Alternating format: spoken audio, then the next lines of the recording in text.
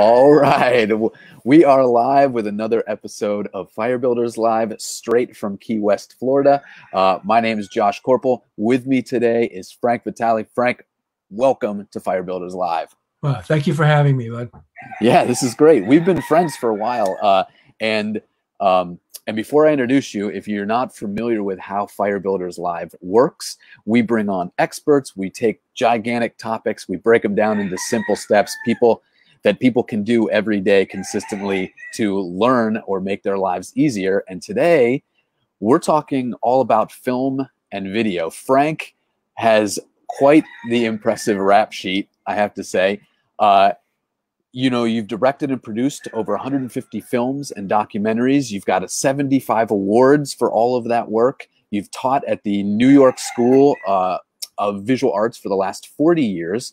Um, you have a film now that is playing in it played in Sarasota and now it's going to be in the Brooklyn Film Festival called Erotic Fire of the Unattainable and uh, your Montreal Main um, feature film has been in places like London, uh, Edinburgh, AFI, MoMA, the Whitney. I mean, so you've just you've kind of like you've been around, man. You've done some pretty amazing things.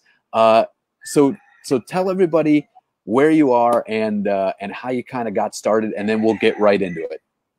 Well, I'm a, a, serial filmmaker. I love making film. Um, whether I'm making money at it, which I've supported my family that way, or not. Um, so I got started just by working as a working for still photographers and just gradually drifted into film. Worked on a bunch of films. I worked on um, some features with a guy named John Avildsen who did the first Rocky film and the Karate Kid movies, and he went on to have a really stellar career. And I learned a lot from him. Um, and I also taught film at the School of Visual Arts, or I'm still teaching it. Uh, uh, the I just love making films, and that's when I teach films. I don't teach students how to make films. I just help them make their film. Uh, and now I have this movie, Erotic Fire of the Unattainable. It's a feature-length film. It's docufiction, which means it's a combination of fiction and documentary. Um, but you could call it all fiction because it looks like a fictional story. There's no interviews. Uh, and um, I'm really pleased that it's playing, going to be playing in Brooklyn at the end of the month and played in Sarasota. Just finished in Sarasota. It was uh, the number four film out of 100 as far as these are, are virtual screenings now. There's no brick and mortar screening. So uh, people uh, sign in, and in terms of Sarasota, they pay $3.99 to watch the film. But Brooklyn is going to be free. The Brooklyn Film Festival has organized it that um, they're not going to charge people. You just have to sign up and you can watch the film. So, uh, well, and that's that's different than than the way that it normally works, right? Um, where these film festivals, they you know they charge people to get in, and uh, and and with the Brooklyn one, anyone is going to be able to see this this film. It's just going to be um, you just kind of hop on online. Is that right? That's exactly right. Yeah. Yeah. Yeah. So well, tell, go ahead. Oh no, I was just going to say, um, like I'm curious because if I could go back to what you said previously, right? What you you got into film, but what is it that you actually like? If you could articulate what it is that you love about filmmaking, how would you do it? If you go ahead, because uh, help me. Because basically, uh, what I do know is that I love making films. Why? Uh, I can guess. Uh, um, I, I, like uh, I like preparing. There's a lot of preparing that goes into making the film. For example, if you're going to shoot three days, you might prepare for a month. I like building it and preparing it and dreaming about it and planning it. Uh, the heartbreak is it never works out the way you plan it, but um, but that might also be something good as well, maybe. Oh, absolutely! Like, it's always it's always good. It's always good. It's it, it is always good. It still is painful. Yeah, yeah. But, but, it always works out better. We I just, I just did a short called Moon Moon Nymph about um, a nymph who haunts this complex that you know about the Garner complex. Um, and we were, you know, I spent my month preparing, and I had an actor, uh, two actors ready to go, all the locations, crew all lined up and the actor came down with food poisoning. Like as I was driving to the location to start, you know, oh. putting the fin- finishing touches on. Um, so I had to scramble and uh, find somebody else. And uh, the person I found was much better than the person that uh, didn't do it. So, you know.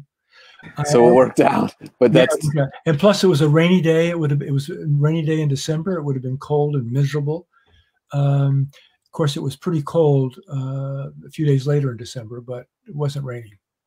Well, so it's all about. It seems to me in that that it's really all about adaptability like adaptability so as you're making these films you know you try and plan it out as best you can i feel like that's just a good parable for life you know and and work is that you you know you try to have a plan you try to prepare but you just you never really know what's going to happen and uh, especially in you know in the filmmaking industry. And for anybody that's listening to this frank if if you had to you know kind of start all over again and and tell your stories through the lens the way that you've learned to do now you know what is it that you think is the most important thing as you're as you're trying to express emotion as you're trying to express a feeling or a shot? Uh, you know what do you how do you think about this in terms of uh, you know in, in terms of how you lay it out and and uh, how you prepare etc well I'm going to address more um, how you think about it. And I, uh,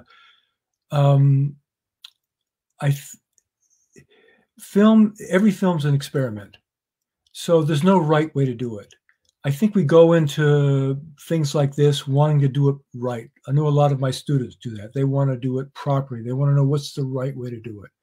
And I try to gently explain to them that there is no right way to do it. Um, and I think this comes from I know certainly in my life, when I was younger, like a child and and vulnerable, someone may have uh, uh, I don't know gotten angry at me for doing something, doing something stupid that I didn't think was stupid, but suddenly it's stupid and and I was hurt. So I avoided that, and uh, I think um, maybe people who want to make films are, are sensitive people, and they're going to get bruised as they grow up, and it could close them off. It could make them um, wanting to do things right, wanting to do things that other people are not going to beat them up about. And un- unfortunately, that's the exact opposite of what has to happen in film. The, the only thing that you can, um, uh, what you have to do is you have to be uh, inventive when you're making a film. And there's only one place that that inventiveness can come from, and it's from inside of you. Um, so you have to somehow uh, bring that out and expose your feelings, the ones that you're afraid of and the ones that um, uh, you're scared of people knowing about you. You have to be able to somehow bring those out. And that's the only way you can make a good film. Um, I know when we first talked about this, you talked about a methodology of um, working with, uh, and I thought it was really terrific, of working with film and uh, maybe experimenting and maybe gradually um, uh, bringing that out. Just, and I want to ask you about that. But before I ask you, I want to let people know that uh, these taking small steps gets you a lot further than trying to do one big leap and falling on your face um, I just my example was I started doing marathons or not marathons but triathlons a while ago, and I um, uh, but I hadn't run. I wasn't a runner. I hated running, so I'd got this app, uh, Couch to 5K. Um, it's like I think it's three miles 5K, and it took me nine weeks, uh, three times a week, to gradually work up to being able to run uh, three miles. I never thought I could run three miles. And I know if I had run out the first day and tried to run three miles, I would have just given up. And I have given up a hundred times. So that's so that's what I liked about your concept about how to uh, explore and get comfortable with your own creativity. So why don't you tell me about that again? Sure. Yeah. Well, I mean, before I do that, uh, one, I think that the advice that you just gave about not wanting to protect yourself so much. In fact, it's more about seemingly exposure and exposing yourself to the elements and and you know enduring those bruises and stuff that your most creative and your most impactful work actually happens. It seems to me that that's that that's the way it works, and I have seen that true in my own life too. So um, I wholeheartedly agree with that. Do you think that um, that you know, as we talked before with the idea of of you know, I asked you, I remember asking you, Frank, if I gave you an emotion, right, how would you express that through the camera? So if I said, show me fear, right, how would you do it? And uh, and I remember you didn't quite have an answer for it because maybe there is no right answer. The the the answer really is in in the pursuit of of trying to express fear. And there's so many different ways to do it that just like you said, there is no right answer. It's just it just is a feeling with a lot of different shades of gray. I don't know. What do you think? You're absolutely right about that. Yeah, I couldn't come up. I mean, I felt a little bit inadequate because I couldn't come up with, um, you know, I'm a director. I'm supposed to know about things like that, but I don't. I, you know, if I have a scene where someone is supposed to be afraid, um, I can't go in with some kind of system or method or something to say to people. They read the script, they know they're supposed to be afraid. We rehearse the scene. Um, I might say, well, it's cool that you're smiling, but it feels like you're afraid because you're smiling. So, in other words, I might accept something that I wouldn't ordinarily accept uh, in, in kind of theoretically uh, because it works. So, it's an iterative process. Um, and I also know that everything doesn't happen when you're shooting. Uh, and I know that a lot of times I would shoot when I was younger, and everything I wanted in the scene wasn't there.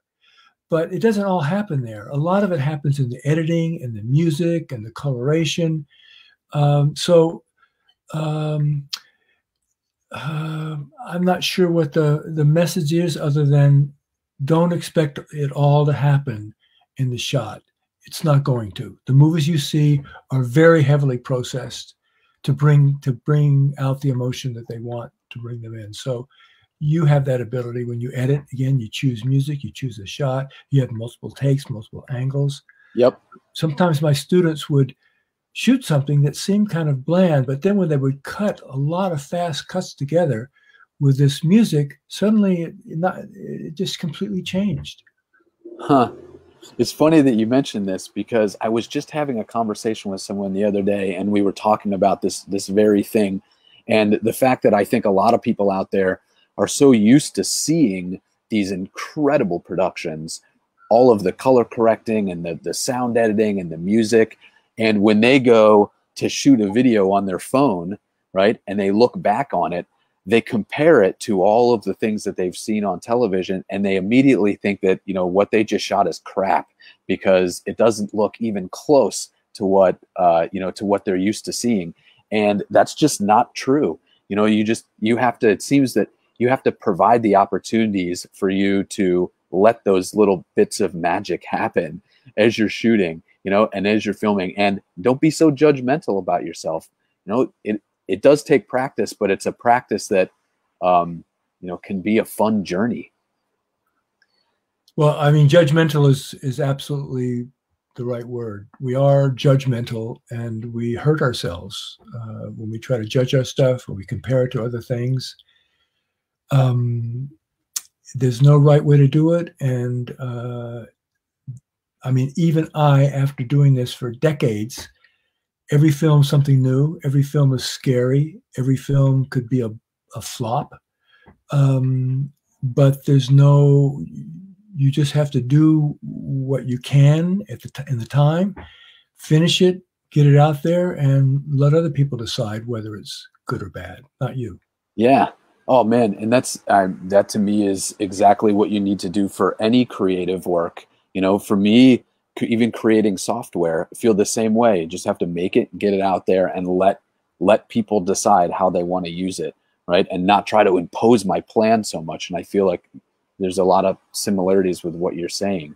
And and i, I should put this up because uh, i think this is important.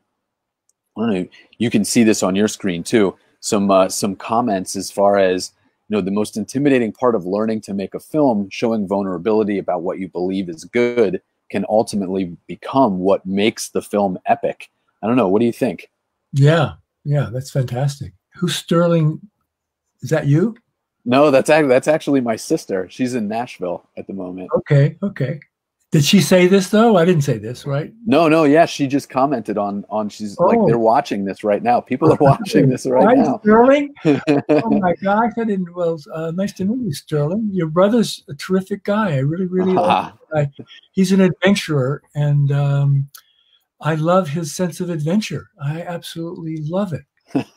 Thanks, man. Yes, you you guys would get along. And and uh, and let me put up Stevens here, right? So if I understand, you need to be open to the magic, willing to expose yourself emotionally, but you also need to know some amount of the craft or people who know the craft. So what do you think the balance is? Well, I think that you're right about that. You should learn the craft, and there are craft things that um, help you. Um, but some people get held back. I remember some. There was one student who kept taking classes, one class after another, because she wanted to know what she was doing. In fact, I um, I made my first feature Montreal Main that did really well, and then after that, I said, okay, I got to figure out, I got to know what I'm doing. So I went out and made a, a safe movie, and it turned out to be not so good, and um, it, it was not the right choice for me to make at the time.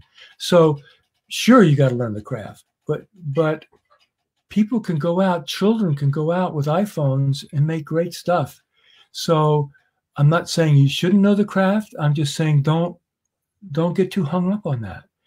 Um, at a certain point in my career, I knew cameras. I really knew them well. Uh, but but people that didn't know equipment uh, wrote stories that were good films, and they became very successful directors because they knew the aesthetics. They didn't know um, the, at least the technical craft. Um, so, yes, you have to know the craft. It's good to know the craft. I like knowing the craft, but don't let it get in your way. It's not. It's not the most important thing. The most important thing is your heart.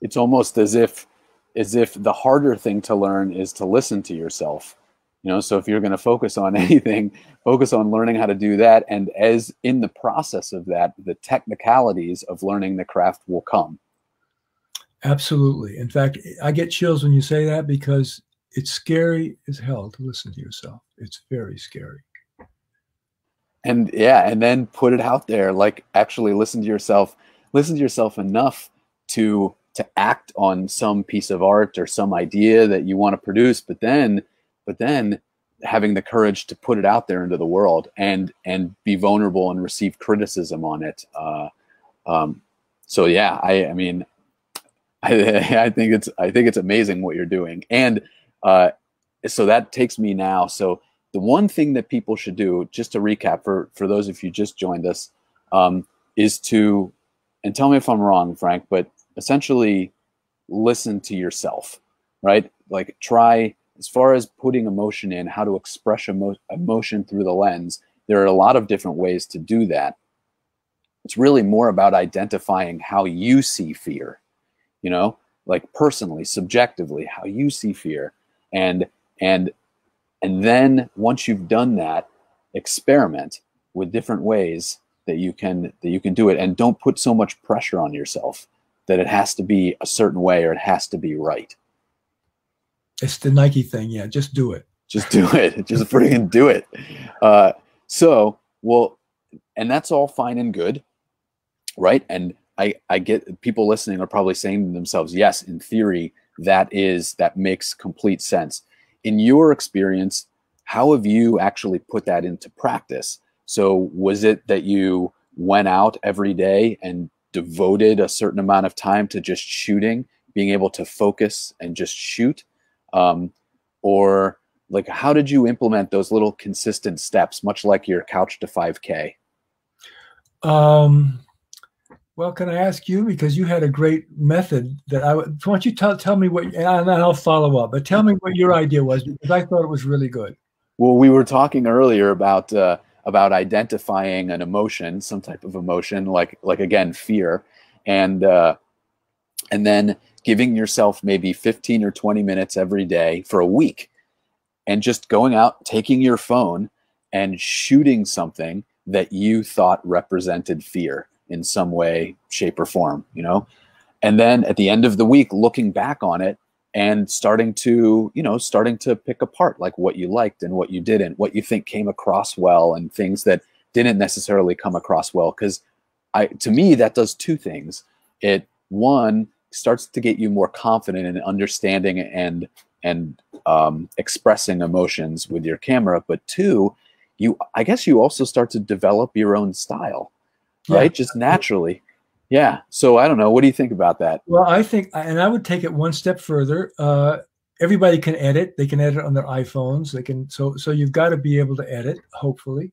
So take that stuff and take the stuff you like and cut it together just with sloppy, you know, just throw it together um, and then put some music on it. And you might get chills like I'm getting right now. Really, that's kind of some magic happens when you do that, even though no, at no point along the way did you feel brilliant or did anything look like it was going to work out well. But magic will happen. And um, uh, yeah, you know, as we're talking about like making magic happen like that, uh, Stephen. So the question that you that you answered about uh, about knowing the craft. So this is the same gentleman, and uh, one thing that he said here was, "Is 59 years old too old to start down this road asking for a friend?" Uh, whether whether or not that's true. Um, what do you think as far as age? Do you think you can learn this and start experimenting pretty much at any age? I think so. I'm I'm um, you know I'm past those years and uh, just made a new movie and I just made a new short. Well, I'm just working on it. Um, Grandma Moses started painting at 90 or whatever. So uh, I don't think there's any age limit. I think uh, it, it is, you know, it's it's a young people's world as far as professionally, uh, and making films is is is hard. So we don't often have the same energy at 59 years old. But why should that get in your way? I mean, there's a million things that are going to get in your way of whether whatever age you are. So that's just you know one of the things you have to deal with. I dig it. I dig it. And uh, okay, well, so speaking of the film that you just made, let's talk about that a little bit. Um, you just made a film. In fact, if people, I'll put this up here. So if uh, if people want to connect with you, they want to see some of the stuff that you've made. If they if they're interested in watching Erotic Fire, uh, how what do you got going on now? A little bit more in detail, and how do people uh, get in touch with you? Um, well, they could uh, email me at vitale.film at gmail.com. I have a website called Vitale Productions, which uh, has a couple of reels on it and a bunch of my short films, and also the trailer for this movie, Erotic Fire of the Unattainable. Um, and they can go to the Brooklyn Film Festival. There'll be a, um, uh, my film will have a site uh, the festival. Uh, I don't know if there's any contact information there, but I hope you go and see it and then get in touch with me. I'd love to hear um, because uh, again, you expect a, a, director to, to go out and make a film and they know what they're doing. I unfortunately don't know what I'm doing. I, I, in fact, I work best when I don't know what I'm doing. Somehow I want to do something, I do it, and it turns out okay. Um, so, but I'd love to hear from people um, what they think my film's about.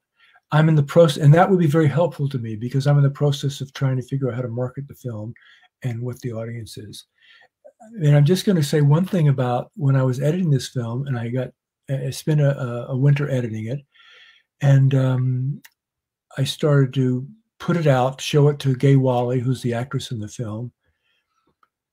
I was scared I had nothing. I, I didn't know what I had, and uh, in the process, there's a lot of times where you go through uh, you go through doubting yourself.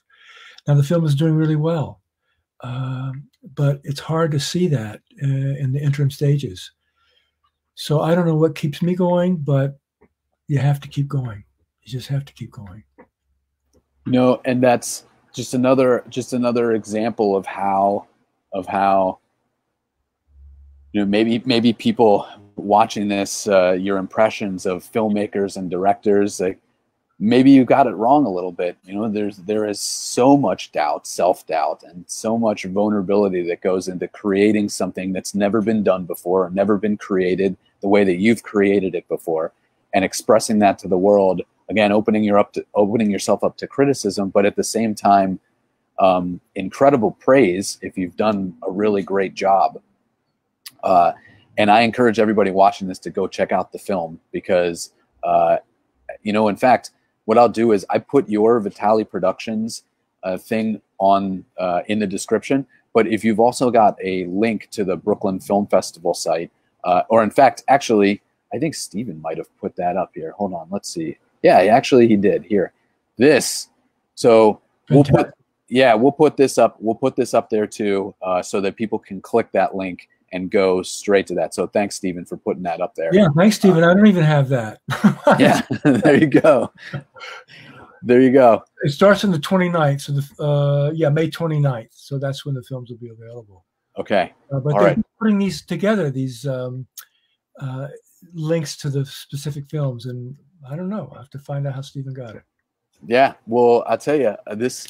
This has been an incredibly um, satisfying conversation for me because it's always great to talk with you. Number one. By the way, Frank and I we used to work in a Starbucks in Nyack, New York, and Frank was the only other person that would stay longer than I would at that Starbucks. You, I mean, you pulled like eight, nine, ten hours at that place sometimes, and uh, and I would see this. I would always see you there, and I'd be like, man, I need to, I need to know who this guy is. Who is this guy? And then uh, one day we just started a conversation. You were editing a film, and uh, and we just started a conversation. And honestly, we've been friends ever since. It's like pretty amazing. It is amazing too, Josh, because I was feeling the same thing. Who is that guy? All the time working. Very cool looking guy. Uh, and I found out that you were just as cool as you look. So that was oh, yeah, well, thanks. I, I try. I have no idea what I'm doing either, to be honest. Until I got invited on his boat, uh, which was an honor. It's a cool boat. Yeah, yeah. Well, thanks. And uh, and I'll tell you, open invitation to uh, to come back. We can do a film on it. I know you've got something in the works. You, I remember you telling me uh, about um, like something that had to do with the river. Um, so I don't know if that's still in the works, but we can we can talk about it. Okay, cool. Well, thanks again for being here. Just your vulnerability, your your like how honest you were about this whole process, I think helped a lot of people. So um, so thanks again, and I wish you all the best. Go see Frank's film. And this is Frank and Josh signing off from another episode of Firebuilders Live. We'll see you guys next time. Adios. Thanks.